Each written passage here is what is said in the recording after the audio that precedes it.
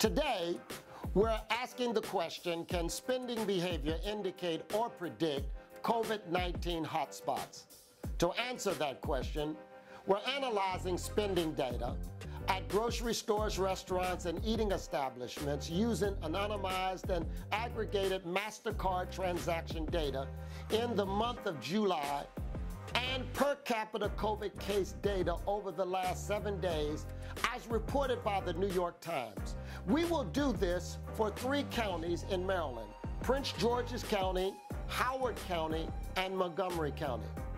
As we know, behaviors such as wearing a mask, maintaining good hand hygiene, and social distancing are crucial to slowing the spread of COVID.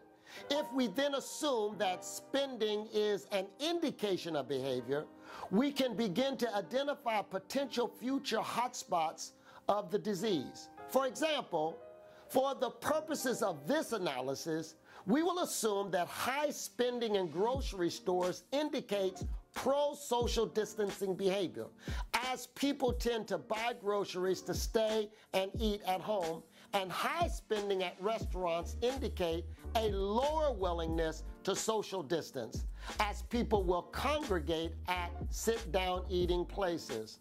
Now let's look at the data. According to MasterCard data, Montgomery County has an index of 283 at grocery stores and 119 at eating places. Prince George's County has an index of 224 at grocery stores and 91 at eating places. Howard County has an index of 273 at grocery stores and 84 at eating places. We will call the difference between these two indices our COVID predictor index. A high COVID predictor index will indicate more spending in grocery stores, while a lower COVID predictor index will include more spending at eating places and restaurants. Now let's explore the link between our COVID predictor index and per capita COVID cases over the last seven days. The COVID predictor index for Montgomery County is 164, and the per capita COVID case count is 62. For Howard County, the COVID predictor index is 189 and the per capita COVID case count is 68. Finally, for Prince George's County, the COVID predictor index is 133 and the per capita COVID case count is 105.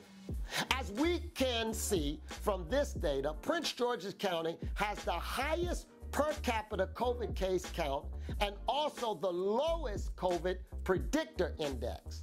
Howard and Montgomery County have a COVID predictor score that is 56 points and 31 points higher, respectively. Both counties also have a significantly lower per capita COVID case count over the last seven days when compared to Prince George's County. While there are potentially many reasons why one county has a higher prevalence of COVID cases than others, this data shows us that there is a potential link between spending behavior and the prevalence of COVID cases. This type of analysis embodies the power of smart cities, as this data can drive decisions and can be used to forward deploy resources in the fight against COVID. That is all for this week. Please join us again next week where we continue to engage, educate, and empower our residents in Seat Pleasant, a smart city of excellence. To learn more about our digital transformation, please visit us at www.seatpleasantmd.gov. Thank you.